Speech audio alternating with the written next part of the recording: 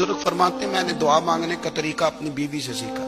हज़रत वो किस तरह फरमाने लगे, मेरी बीवी ने ना मुझे कोई काम बताया, कुछ पैसों की ज़रूरत के लिए कहा तो मैंने उसे कहा कि भाई अभी मेरे पास नहीं है, कुछ दिनों में आते हैं तो मैं दे दूँगा।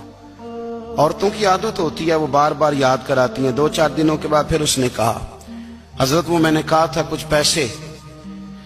मैंने उसे कहा कि अभी मेरे पास नहीं है, कुछ दिनों में मिलते हैं तो मैं तुम्हें दे दूँगा। उसने कुछ के बाद फिर कहा, हुजूर, वो मैंने कुछ पैसे कहे थे। फरमाते, मैंने डांट दिया, मैंने कहा कि क्या तू रोज मुझे शर्मिंदा करती है? कहा ना मेरे पास नहीं है। होंगे तो दे दूँगा। तू रोज याद कराती है। फरमाते, उसने पहले तो मेरी डांट को सहा। फिर मेरे सख्त जुमलों ने उसकी आँखों में आँसू पैदा कर दिए। फिर उसने अपने आंचल में अपने उस दुख को समेटा। और फिर उसने एक जुमला कहा तो मैं रो पड़ा। और मुझे अपने रब से मांगने का तरीका आ गया।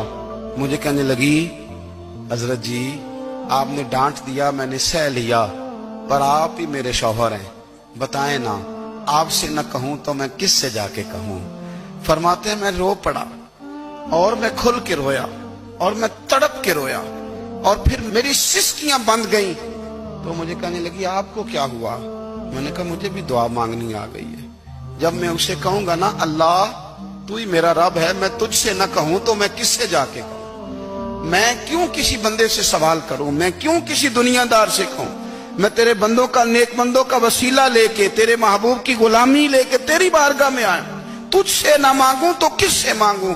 समझ आ गई है। जब मैं इस रंग में मांगूँगा तो तेरा रब मेरे ऊपर बड़ा ही फजल फरमाएगा।